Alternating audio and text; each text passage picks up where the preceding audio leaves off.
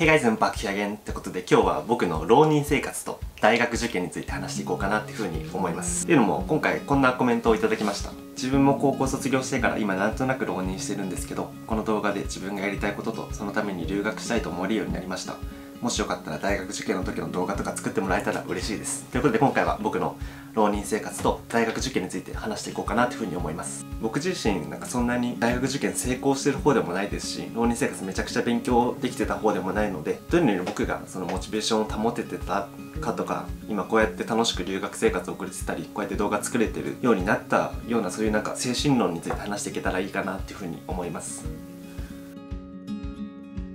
高校時代はみんな周りがすごいザ進学校みたいなところに通ってたのですごいみんな大学受験をめちゃくちゃしてる中僕はもともと成績もそんなにいい方じゃなかったのと大学で何したいかっていうのがそんなに分かんなくなってたんですよね。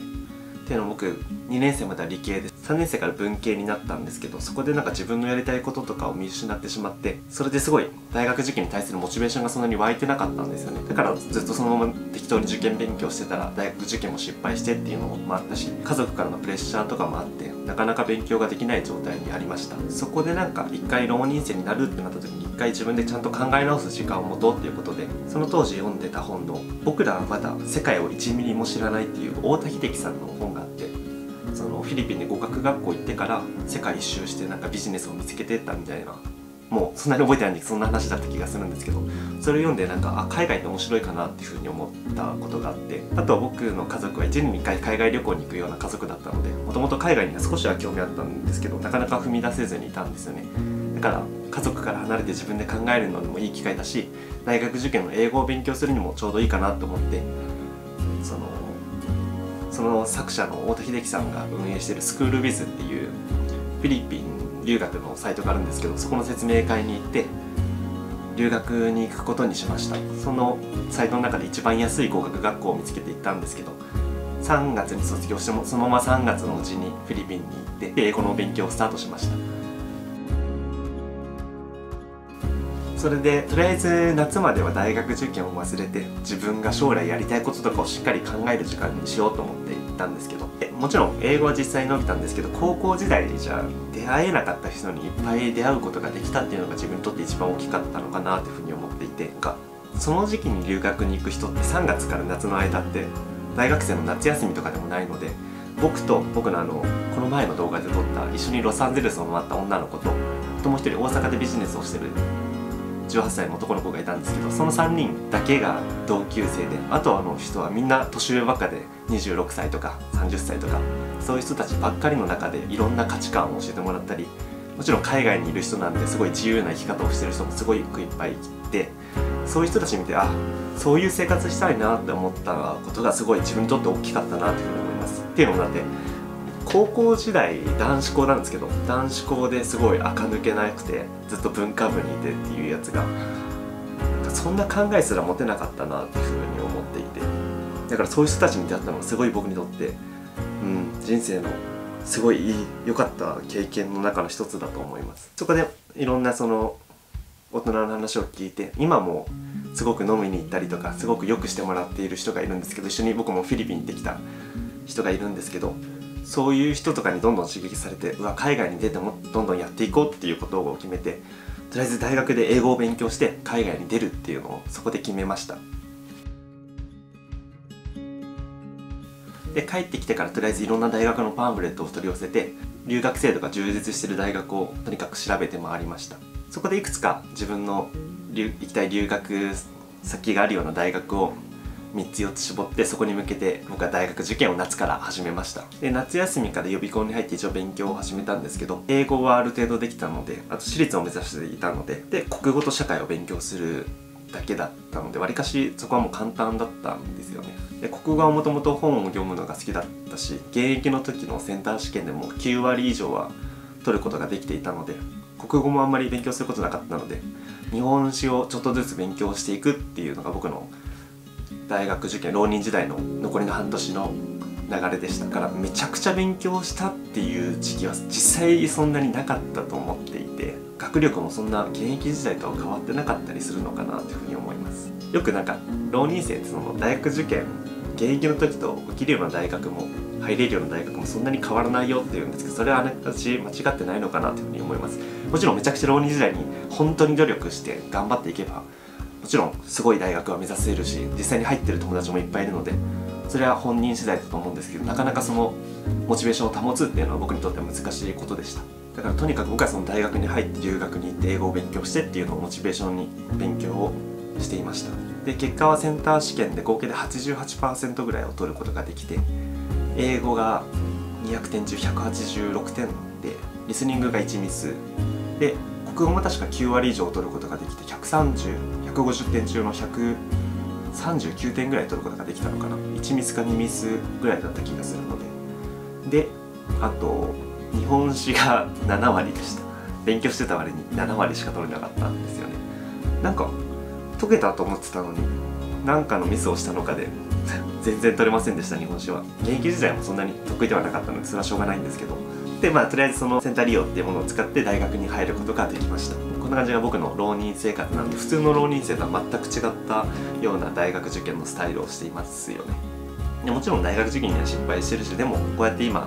サンフランシスコで英語を勉強したりこうやって今動画を撮って楽しんでいるのでうん。なんなら僕は大学受験失敗してよかったかなというふうに思ってます。っていうのもそんなフィリピンに行っていろんな価値観を学ばなかったりしたら今多分僕は普通に大学に入って普通に就活してたのかなというふうに思うのでうん。思いますねそれは。でそんな僕ができるその大学受験とか浪人生のアドバイスとしては一回学歴を忘れて自分のしたいことを考えてみるっていうのが本当に大事だと思います。なんなら僕高校も偏差値を高い順に自分の考えてたことも後悔してるぐらいなのでもちろん大学で偏差値が高い大学に行くことは就活でも有利ですしちゃんと目的を見据えてそれに対して計画を立ててそれを実行できるっていうのはすごい社会人にとって大事なスキルでもあるし人にとって大事なスキルなので目的がない方はとにかく偏差値を高い大学を目指すっていうのも一つの手だとは思うんですけど僕にとって目的っていうのが本当に大事でそれをの目的があるからこそ僕は努力ができると思うんですよね。自分の場合だと海外に行って海外で生活をしながら楽しく過ごしている大学生活をめちゃくちゃ想像して本当にどんな生活してんだろうとかあこういう友達作ってこういう話してんのかなとかそれぐらいまでもういろんな想像を明確にしてそれをの目標を持てたから僕は努力をできたと思ってるし大学に入ってアルバイトしなくてなんか海外とか飛び回っているの大学生になりたいなと思ったからこそどんなに忙しくても友達と遊ぶ予定があってもその前の10分とか5分とかの時間も全部使ってそのブログとかを毎日書いて毎日3000字とか書いてたし学校に行く電車帰りの電車とかもずっとブログを書くような生活をすることができましたしも今も将来こうやって動画撮っていろんな撮影していけたら楽しいなって思ってるからこそ今こうやって会社を立ててこういう空いてる時間も全部動画を作る生活をしてるんですけどこのチャンネル以外にもいろんな動画を撮ってるんですけど、うん、だから僕はその目標が先に来ているからこそ今頑張れるというかいかにその想像をはっきり持てるかっていうのが自分にとって一番大事だと思います。だから受験勉強を先にするんじゃなくてその明確な目標を持つことを先にしてください。そしかもその想像っていうのはこうなってたら楽しいなとかじゃなくて実際にもう絵に描けるぐらい、うん、うわこの日はこんな例えば僕だったら留学のことを目標にしてるとしたらこんな友達ができてこういう会話してたりとかあなんか友達ん家に遊びに行ってなんか英語で話せてる自分の姿をすごい明確に持ってだからこそそうなるために今英語を勉強しなきゃとかそのために大学受験をちゃんとしなきゃいけないっていうのをできるからこそ努力ができると思うんですよね。もちろん目的に学力が必要ならそのために勉強頑張ろうって思えるしそのために英語力が自分足りてないなって思うなら英語が勉強できると思うんですよ。しかも嫌々じゃなくてしかもその勉強は多分楽しいと思うんですよね。で僕は学部柄そんなに課題も多いしサークルに入るような人も少ないような学部だったんですけどそれでもめちゃくちゃサークルに入ってそれは大学生活で楽しんでる自分も想像してたしけどそこから留学に行くっていうちゃんとしたはっきりした目標を持っていたのでその中でちゃんと TOEFL のスコアも取ってたし学校のスコ学校の成績もちゃんと留学の要件を満たす成績をちゃんと取っていたしちゃんとその忙しい生活の中でちゃんとお金を稼ぎつつ長期休みのほとんどは海外をバックパッカーしながら回るというなんかそう大学入ってたらしたいなって思ってたことは全部することができました。なので浪人生とか大学受験をしている人に僕から言えるアドバイスとしては勉強面じゃなくて大学に入ってから自分が輝いてる姿を想像して想像して想像しまくるっていうのが、うん、僕ができる